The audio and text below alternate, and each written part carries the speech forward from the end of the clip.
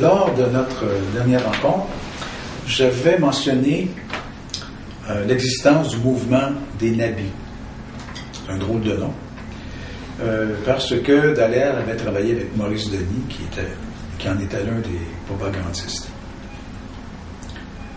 Le mouvement d'habit, c'est un, un, mouvement d'art qui s'attache à renouveler le caractère sacré de l'art et qui se caractérise euh, principalement par l'utilisation de grands aplats de couleurs ayant comme thématique principale la lumière. Et euh, ce mouvement a eu une influence considérable au tournant du siècle.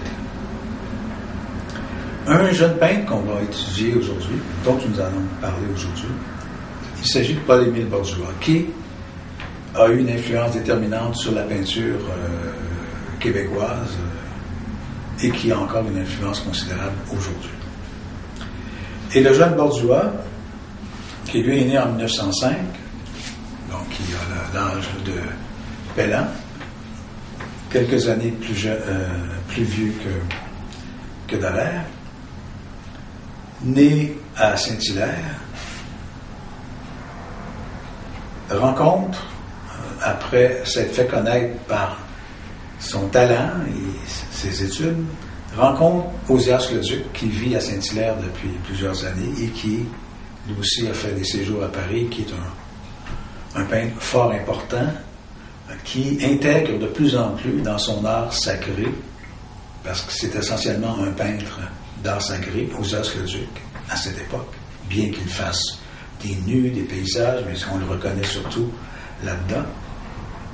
Et, sous les conseils d'Osias Leduc, Bordois va s'installer à Paris pour apprendre l'art sacré et revenir travailler avec le maître Osias Leduc à Saint-Hilaire.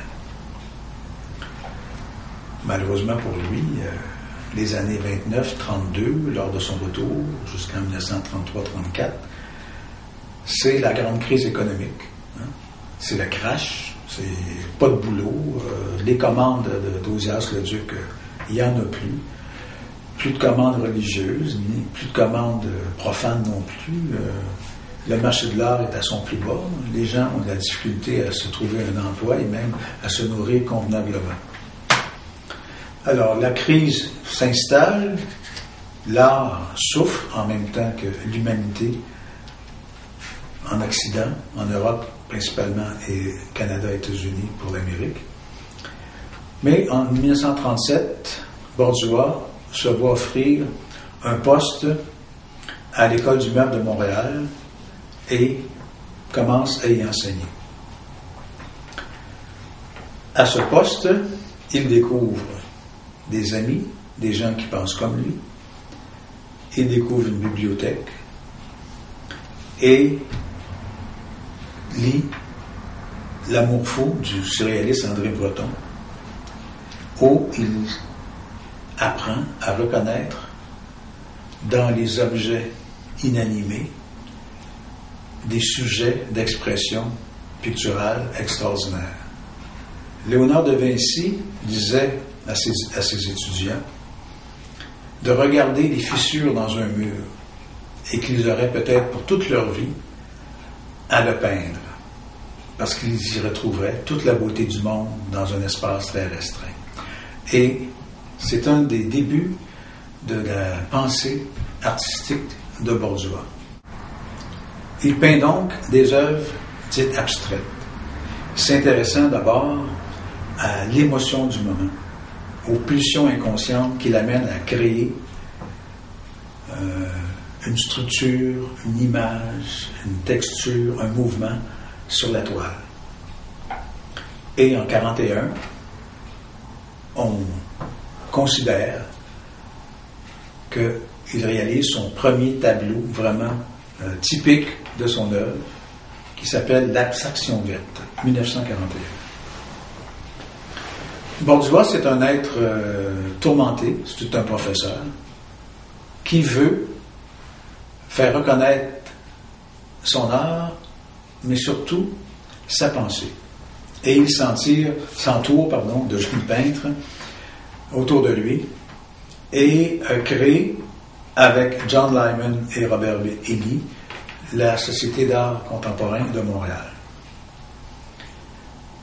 Après un certain temps, ils se définissent comme des automatistes. Il devient donc lui-même le chef de file de ce mouvement et veut créer à Montréal une école picturale aussi influente que l'école de Paris ou l'école de New York. Il veut vraiment faire reconnaître la création artistique en art visuel à Montréal comme étant une de dimension internationale. Connaissant Alfred Pellin, ils se rencontrent, ils travaillent ensemble et il euh, reconnaît que ce que Pellin prône, cette espèce de liberté de conscience, cette espèce de, liberté absolue, ne lui convient pas. Pour Bordua, la pensée artistique doit refléter la société dans laquelle il vit. Et ce qu'il propose comme société, ce n'est pas celle dans laquelle il vit à ce moment-là. Il veut la changer. Il considère que l'art est un des mécanismes et des chemins les plus sûrs pour y parvenir. Il publie donc en 1948 Le Refus global, qui est un manifeste où il exprime, avec d'autres artistes, sa pensée artistique. Les principaux signataires, vous les connaissez, probablement, il y aura Marcel Barbeau, Claude Gouvreau, euh, Marcel Ferron, Fernand Leduc, euh, Jean-Paul Mousseau, Jean-Paul Riopel, Françoise Riopel et François Sullivan. Il y en a d'autres également.